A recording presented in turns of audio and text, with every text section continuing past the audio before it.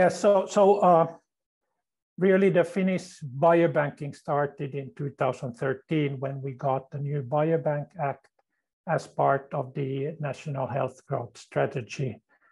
Of course, we had had um, uh, we, we had had the sample collections before, but, but really the law made biobanking professional.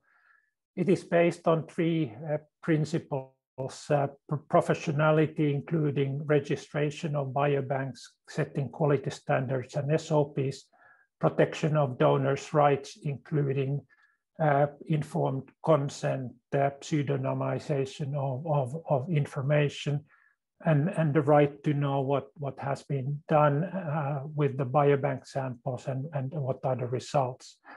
But then uh, one, the third uh, cornerstone was uh, to create possibilities so the consent is wide and allows use of samples uh, for multiple medical research purposes, of course, based on ethical approval, linkage of health data to the samples, possibility for re recontacting, which is separately asked in, in the consent, and public-private part partnership.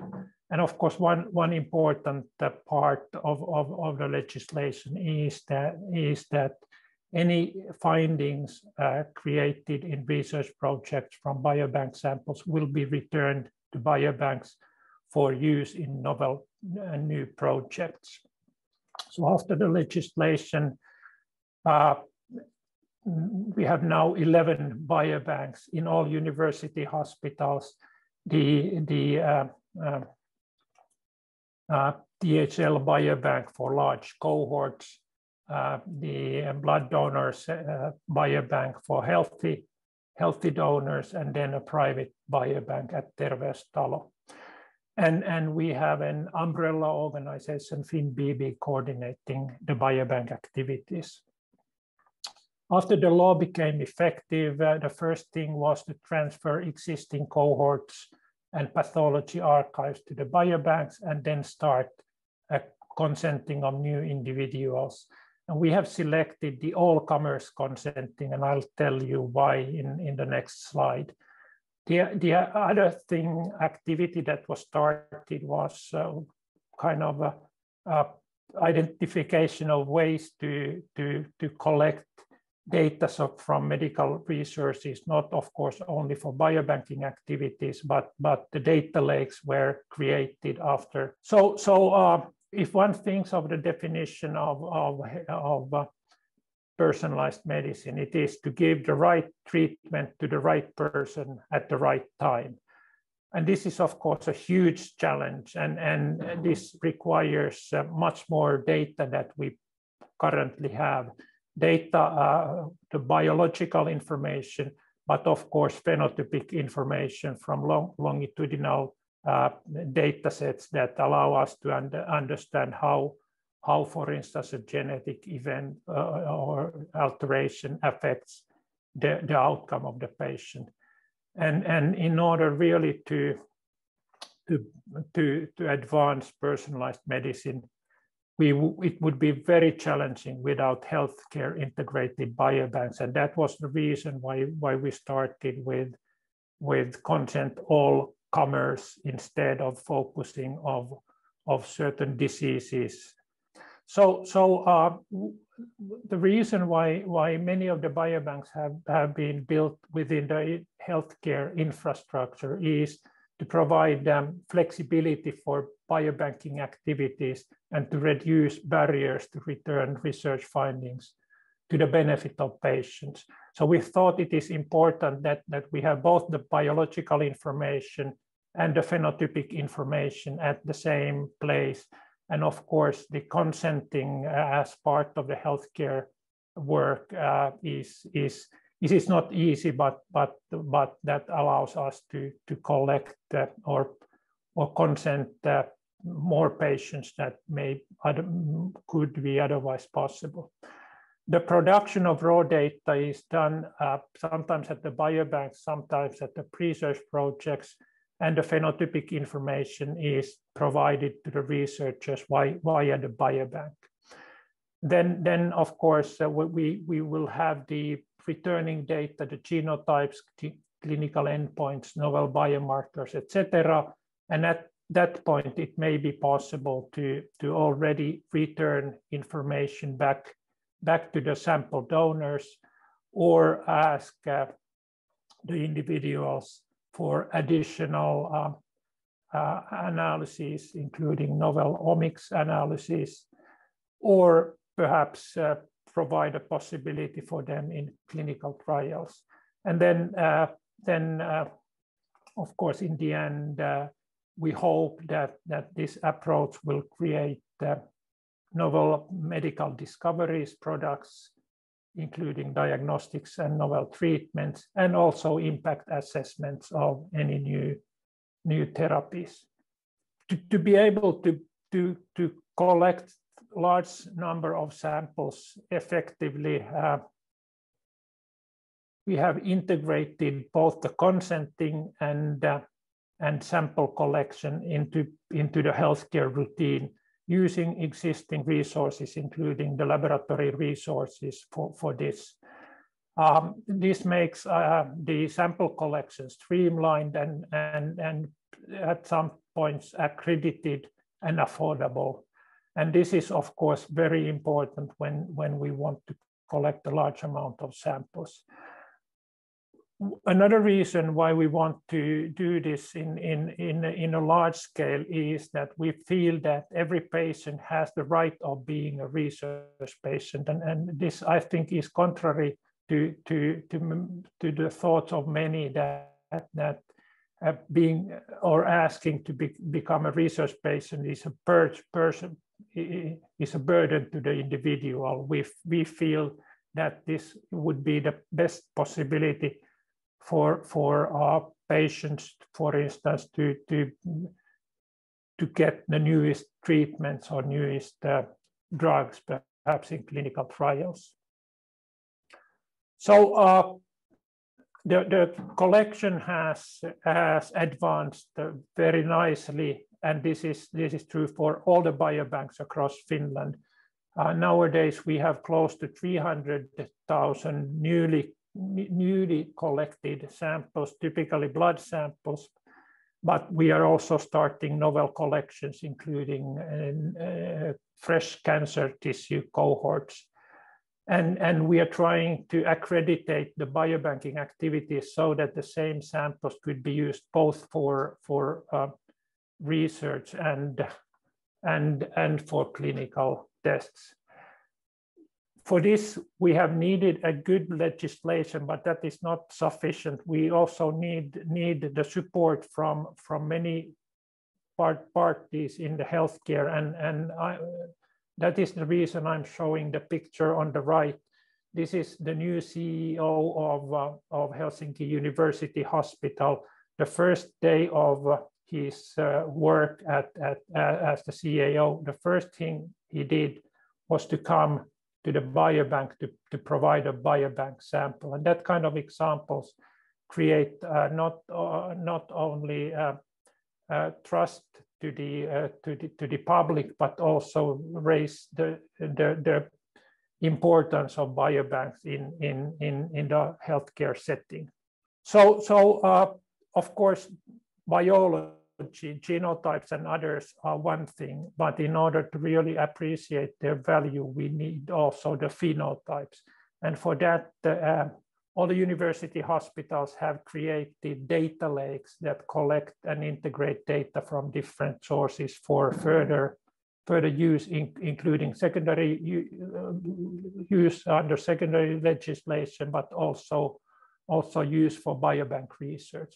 And, and we in Finland have, have uh, a history of med electronic medical re records dating back sometimes uh, for more than 20 years, but, but basically for all for comprehensive electronic medical records now for 10 years. And, and this, this, um, these records can now be utilized based on the data lake uh, systems that, that, that we have uh, operating in, in all the university hospitals.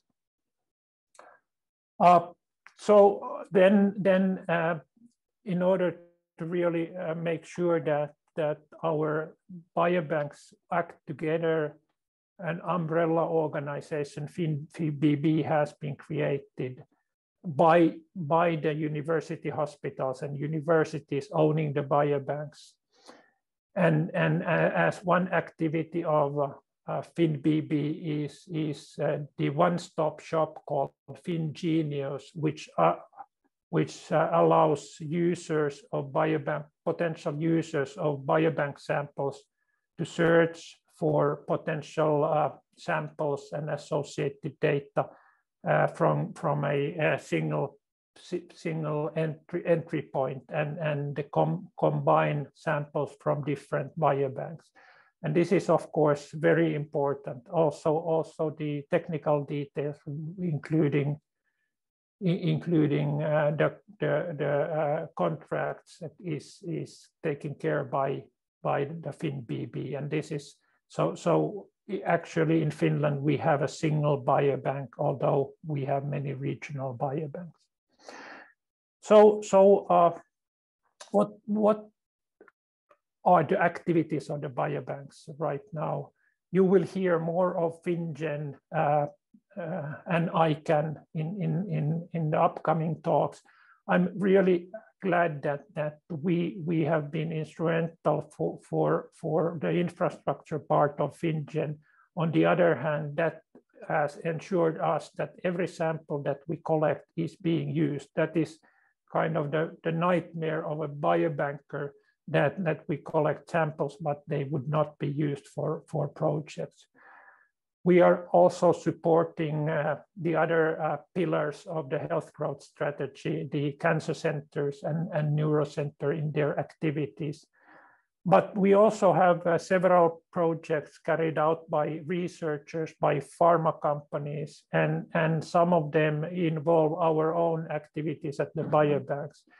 And I, will describe in one slide a, a, project on, on the hereditary disease susceptibility, uh, susceptibility, susceptibility and, and prevention.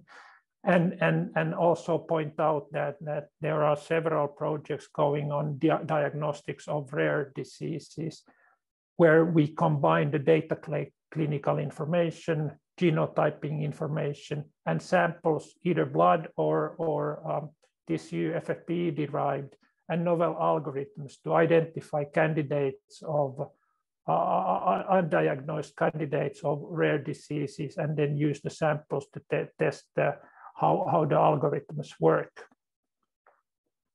So, so one uh, activity uh, is, is uh, a proof of concept study to evaluate whether genotype results that we that are now returning to biobank from fin from FinnGen are applicable to clinical work. And, and so far we have focused on a, on a pilot case, which is PALB2 mutations. PALB2 is, is a gene uh, in, uh, of the same pathway as BRCA1 and BRCA2.